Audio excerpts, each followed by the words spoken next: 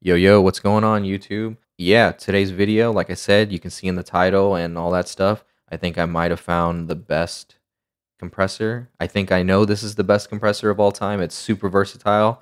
Um, you know, if you haven't checked my last video, which is what the song in this video is going to be about, I basically break down this entire session. I remix the whole song from like three years ago now. Yeah, like three years ago. Yeah, if you haven't checked that out, go check it out. I go with super in depth on why I'm doing the things I do and my template, my routing, and all that stuff. So if you haven't seen that, I'll link it somewhere up here in the video. Um, go check it out. Um, and if you're not subscribed, please subscribe. Please like. Please share. I think as of this video, I just checked. There's like 600 of you. There's 600 of you that aren't subscribed, but you do return to my videos, which is nice. Um, but it would be nice, you know, if you just drop a subscribe. You're coming back anyway, so you might as well um, you might as well subscribe and get notified for my next video. But anyways, yeah, let's jump into today's video and then I'll let you know what we're doing. Let's start with bass. Um, I'm gonna start off with just doing my typical settings basically, which is putting it in opto mode. And for this unit to go into opto mode, uh, you have to put the attack in 10 so basically this, then the release needs to be at zero. So there's that. So now technically it's in opto mode. Basically now it's working something similar to an LA2A where it has a fixed attack and release. And then I would kind of just, oh, another thing that I do is I put this in link mode. Someone told me about this, um, and I also read about it or like watched a video. I can't remember on specifically why, but there is something going on, I believe, with uh, putting it in link mode, or maybe it's just a placebo. I don't know, but there's definitely like a small difference. And then just honestly, the way I remember my settings is red, red, and red. So I used the third distortion. This has different uh, types of distortion built in, which is super nice.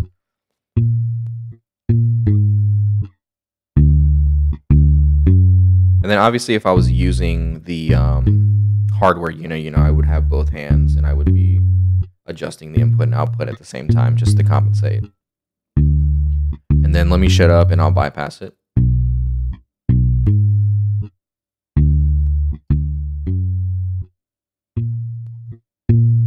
So let me compensate now for all the people that want to want the output compensated. So let's see. We'll do it in real time.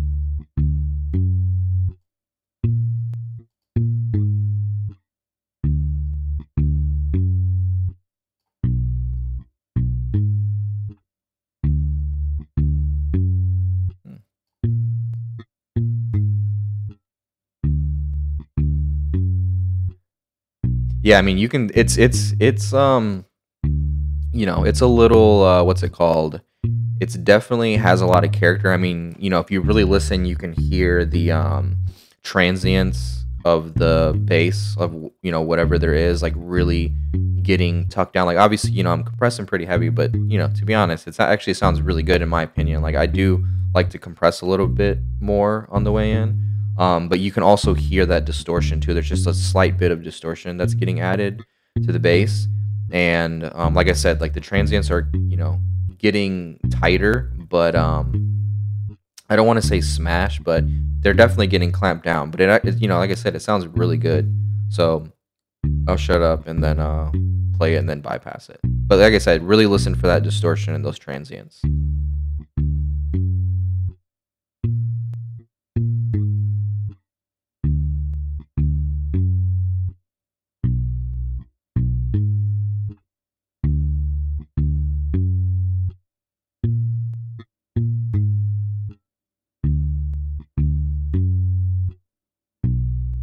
Yeah, I mean, I don't know what it's doing, but like I said, um, it just that what I'm trying to explain is what I hear and what I like about this unit, and whatever you add this to, um, you know, it just sounds really fucking good, basically.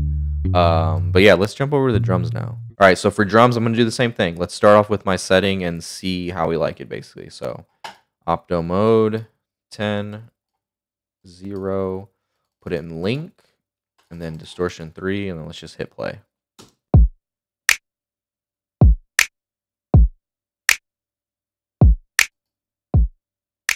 And yeah, obviously we got to compensate that output. So let's start here.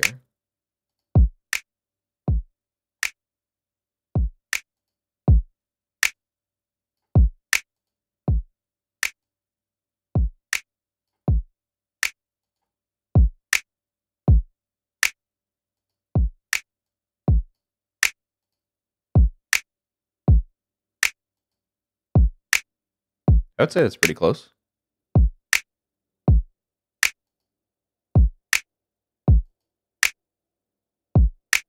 Yeah, same thing. I mean, you can really hear it on the kick, like the distortion. There's a little bit of distortion on the kick. Like I said, if you're listening on good headphones or good speakers or whatever, and you trust your um, room, you you will definitely hear the little bit of distortion. It's like I said, it's mostly like on those uh, initial transients, you know, which makes sense because obviously that's the, the the main thing that's hitting the compressor. But that's what's nice about it, and I think that's what I like about the unit.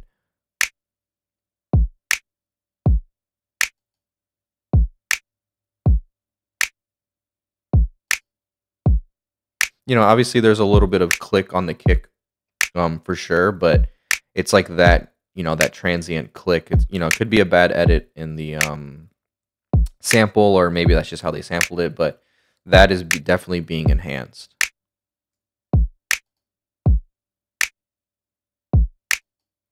And then yeah, let me demonstrate the mix knob. So let's say like we wanted to do something crazy. So let's say let's put this in nuke mode which is basically how it sounds. It's just going to pulverize the signal. Let's do something crazy. Let's do like 10. Obviously, you can hear that distortion. Let's use this as an example to go filter through the distortions. So that's distortion 2. Distortion 3. And you should be able to link both. Oh, then you can high pass. yeah. So you can high pass um, into the distortions, which is pretty cool.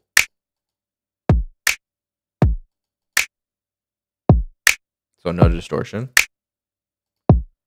High pass.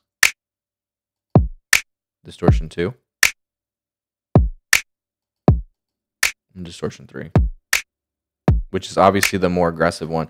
Which is like I'm saying, why I think, obviously, it's it, you know it's definitely more of the aggressive distortions in the unit and which is definitely probably why i can hear the distortion because i'm using the most aggressive setting it sounds like but that's what i like about it. Um, i like having that option and i like the just a little like i said the little bit of distortion. It just always helps like it always helps cut through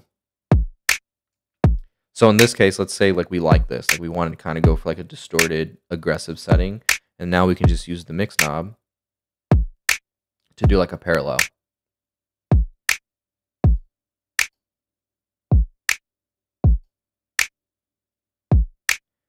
So yeah, definitely you can hear the snap um, in the drums is extending a little bit more. There's a little bit more, you know, release on the um, snap and the kick as well, doing the same thing, but you're getting that little bit of distortion, which is kind of cool.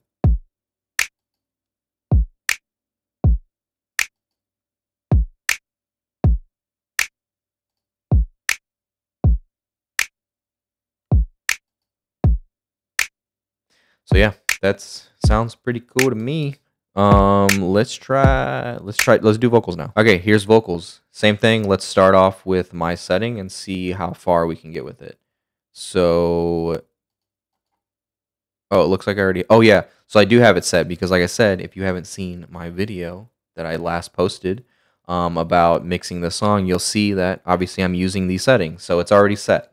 I can't even find a boo, ain't comfortable, so petrified, it's palpable. Good for pals, but how to do romantics is some antics I was never taught. I value love in every heart, forever be scarred from fencing. I was never on guard. I fought the good fight. Yeah, I mean, I second my win. I mean, just, dude, it just sounds good. Like if that doesn't sound good to you, then I don't know, you're fucking crazy. This thing sounds so good.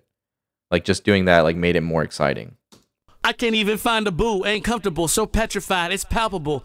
Good for pals, but how to do romantics is some antics I was never taught. I value love in every heart, forever be scarred from fencing. I was never on guard. I fought the good fight, I second my win. I slept in my skin and snoozed my alarm. My ass. I mean, it's just like clamping down on the vocals like so nicely though. Like it's not like you know for sure. It's it's I would say it's on the edge of being a little too compressed, but it just sounds really good. Like it doesn't it's not like smashing it, it's not sucking the life out of it or anything. It's just kind of clamping down on the vocal and like I said, it's just adding a little bit of edge with that distortion basically.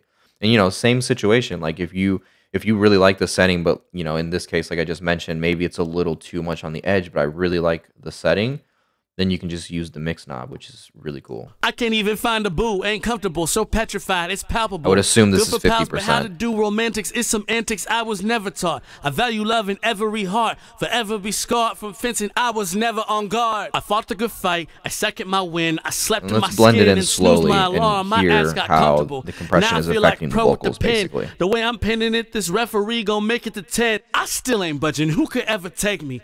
I'm still a dreamer, you can't ever break me. Lately, it's been hard to fight against complacency. I'm making decent money. Remember when I was bumming it? Yeah, I don't know. And now It just sounds really fucking good. Um, if I'm not mistaken, I'm pretty sure like Greg Wells or some or somebody or was it was it Greg Wells or Eric Valentine? Somebody was using a pair of the like somebody at that caliber was using a pair of distressors on their uh mix bus or maybe it was 1176s. I can't remember. It was one of these two, but uh I haven't tried it on uh mix bus or whatever. Maybe if I get two units, which I do plan on getting at least two in the future, maybe that's something I'll try or whatever. I'd be curious. I'm sure it would sound really cool. Um, but anyways, yeah. So that's pretty much it. You know, just trying to do a quick little video, basically.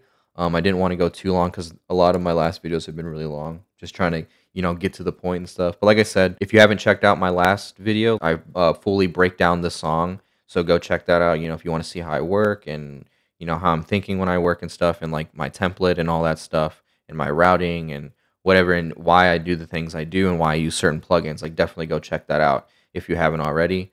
And um, you know, if you're new, um, please subscribe, like, share. And if you're returning, I see I have like I think I checked today, at least at this video, I have like 600 people that return to my videos, but none of you guys are subscribed. So if you can do that, we can get to like a thousand subscribers. So I'll see you guys next time.